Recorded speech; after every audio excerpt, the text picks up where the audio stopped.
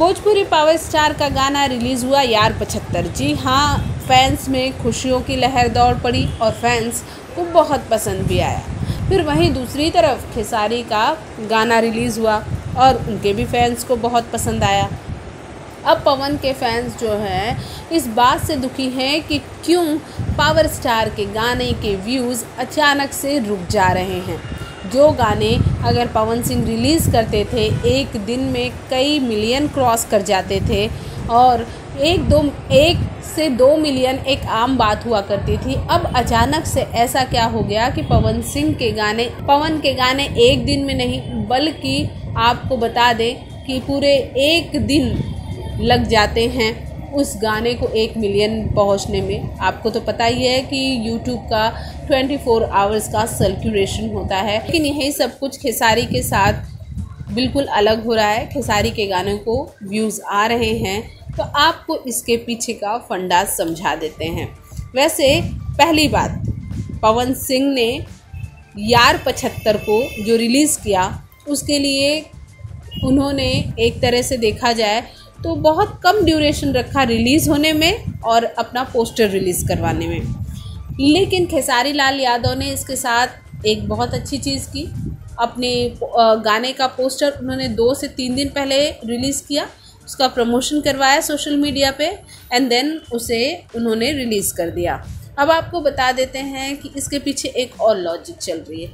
जो खेसारी लाल यादव के फैंस हैं, वो अपने जो स्टार है, उसके लिए एक एक बंदा पाँच पाँच सौ मैसेज और हज़ार हज़ार मैसेज की एक श्रृंखला चला रहा है। अब आप समझिए इस बात को कि एक बंदा एक जगह पाँच सौ और हज़ार की श्रृंखला चलाएगा। नहीं, अगर 500 कर रहा है तो भी वो लोग टारगेट रख रहे हैं कि हम 100 से 200 या फिर 50 से 100 ऐसे हर एक बंदे ने अपने ऊपर टारगेट लिया है कि खेसारी के हर एक गाने पे कमेंट पॉजिटिव आएँगे। आप समझ रहे हैं? कमेंट जितने आएँगे, वो ज़्यादा आएँगे, प्लस पॉजिटिव कमेंट आएँगे। लेकिन पवन सिंह के साथ ऐसा नहीं है। लेकिन पवन सिंह के साथ ऐसा नहीं है। उनके फैंस ये सब कुछ लॉबी नहीं चला रहे लेकिन खेसारी के फैंस अपने स्टार के लिए, अपने सुपरस्टार के लिए एक लॉबी चला रहे हैं कि हमारा हर एक पर्टिकुलर बंजा जो भी खेसारी के फैंस होंगे, वो पर्टिकुलरली एक एक मैसेज हर एक बंदा पचास पचास बार सौ सौ बार, या फिर या फिर जो उनका हिंदी गाना आएगा, उसके लिए तो हर बंदे ने पाँच सौ से हज़ार। जी हाँ बहुत बड़ी बात है।